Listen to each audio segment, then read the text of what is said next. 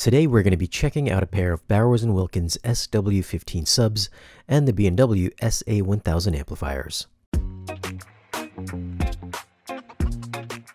Some of you may or may not know, but my everyday speaker setup is the Bowers & Wilkins CT7.4s. I've got 11 of them in my dedicated theater. The only thing I was missing was the matching subwoofers, so that's what we're going to check out today. Let's get them unboxed and see what's inside.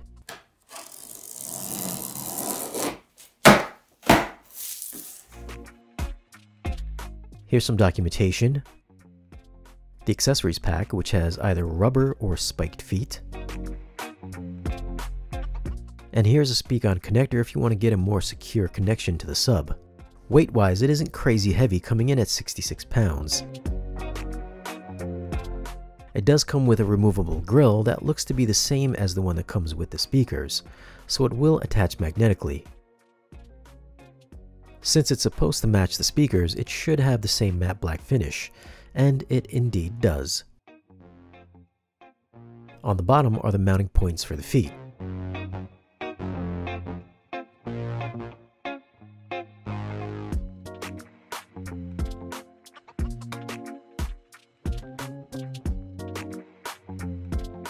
For size, it measures 21.7 inches high by 21.7 inches wide by 10.3 inches deep. So it isn't too big, and it is one of the most shallow subs I've had so far, so if you're putting this in your room, it won't take up too much floor space. And the build quality on this is super solid with a great matte black finish, which won't reflect any light if it's near your display. Up front you'll find the 15 inch driver that's got a response down to 16 Hz. Around back are the binding posts and the Speakon input.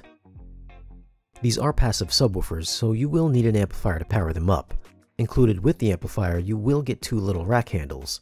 The rack mounts, the mounting screws, power cable, Speakon connector, and here is some documentation. On the front is the standby auto on selector. Low pass filter on off switch, low pass filter from 25 to 130 Hz. The bass extension ABC switch, which is either 16 Hz for A, 20 for B, or 25 Hz for C. Movies and music EQ switch, phase switch at either 0 or 180 degrees, and the volume dial is on the end. The SA1000 is a Class D 1000 watt amplifier and can power both subwoofers. Around the back are the RCA and XLR ins and outs, a 12 volt trigger, the left and right speaker outputs, an additional EQ switch for the specific sub you're using the amp with, the Speakon connection, and the power inlet. For setup, each sub is going to be plugged into each of the SA1000 amps.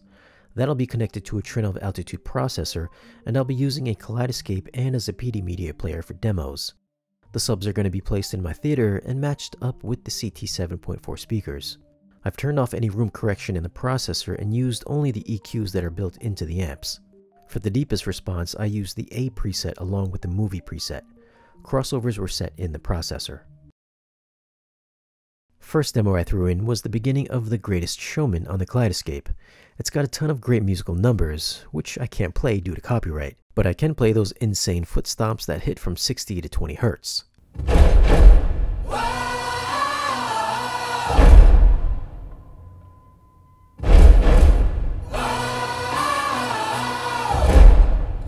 Gents, this is the moment you've waited for.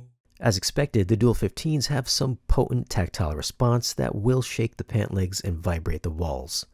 This scene is a great combo of bass that hits hard and also digs down into the lower frequencies, and the SW15s didn't break a sweat with this particular demo. It was also a standout with the musical soundtrack.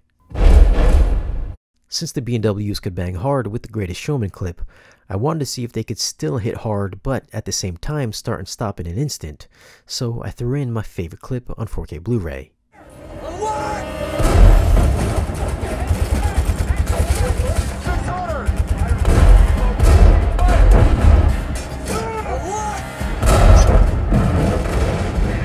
Ceasefire, ceasefire, target destroyed. These guys make you want to turn up the volume because they can belt out some serious body shake in response. When the tanks start to fire, there should be an instant gut check, which they definitely deliver. However, I didn't find them to have the same stop and go force as some other 15s I've had in here, or something with a smaller driver. I felt they hung just a tad after each gunshot or tank shot. I'm sure if I didn't have something else on hand to compare to, I wouldn't have thought twice about it, because these played extremely hard and loud, but they do fall a little short of being one of the more nimble and articulate subs I've heard.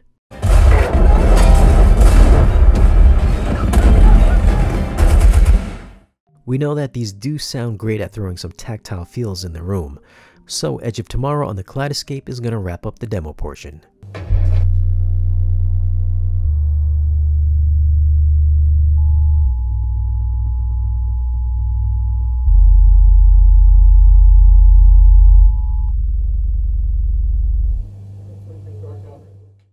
Let's be honest, there aren't too many subs that pass the Edge of Tomorrow test, and the SW15s also come up short for infrasonics. They put in a valiant effort, but they're not vibrating the hairs on your arms or gonna cause any bowel movements. They did an awesome job up until the lowest note started hitting, and they both gave up before they blew up. Alright, so I did take a few measurements, and together they measured quite well. I didn't apply any room correction to get a smoother response, I just did the distances and level matched them in the processor. The first one, I set the amp EQ to movies and bass extension to A. Per the specs, A should reach down to 16 Hz, but in my space it starts dropping off at 10 with some output around 7 or 8 Hz at 96 dB or so. This would seem like it would kill the Edge of Tomorrow demo, but they just didn't move enough air to tingle your skin. The next one is EQ on movies and bass extension on B. There's about a 2 dB drop overall. And the next one is EQ movies, bass extension C. It drops about another 2 dB, but I'm also getting a massive dip at 50 Hz. I took one more with EQ set on music and bass extension set to A. It looks similar to the movies preset, but with a big dip at 55 Hz. Of course, this is the response I got from my space, so it's likely going to be very different from yours. At the time of this video, the SW15 sells for $1,500 and the SA1000 amplifier is $1,750. As I mentioned earlier, these aren't the quickest or tightest sounding subs I've heard in my space. I'm not saying they're sloppy, I'm just saying I've heard subs that cost more that do sound a little better. If you're planning on using these subs for a dual purpose movies and music system, I'd say these are more impressive for movies rather than music. But that's just my subjective take. You might feel differently. All that being said, I found these to be an all-around excellent performer. They had the right amount of weight and slam that you'd expect from a 15-inch driver, and they will shake everything in your room with no problems. Pairing them up with the matching CT 7.4 speakers, I was able to cross them down lower to get that tighter response I was missing with my mains and have the subs do the heavy lifting down low. So as a complete system, it really did shine. Another thing I do like about these subwoofers is the fact that they use outboard amplifiers. You don't get anything like room correction or a dedicated app, but installing them in your room is a simple one cable connection back to the amplifier, so you won't need to have a dedicated power outlet near the sub or long extension cables. This makes for a cleaner installation. Now these are part of B&W's custom theater lineup, that's why you're getting the matte black finish and a cabinet that's fairly plain looking. I think most people that are going to buy either the speakers or the subs will have them installed in a wall or hidden somewhere in the room. The custom theater line of speakers has been around for over a decade, I believe, and they're still going strong today with custom installers, so that should speak strongly about the quality and performance you can expect with these speakers and the subwoofers. And it's one of the reasons I have the CT 7.4s as my daily speakers. They just sound good and do a lot of things right. The same for the SW15 subs. They do what they need to do. They make lots of bass for movie soundtracks and not fail in any critical areas. They hit hard enough and dig low enough and do everything in between, and they do it well. So those are my thoughts on the SW15 subwoofers. Have you heard them and what'd you think? Leave a comment down below and let us know. As always guys, thanks for watching. If you want, you can follow us on social media, and if you want to support the channel and get exclusive content or discounts on audio and video gear, then stop by our Patreon page. Be sure to like this video if you found it useful, and subscribe if you haven't already, and we'll see you guys again in the next video.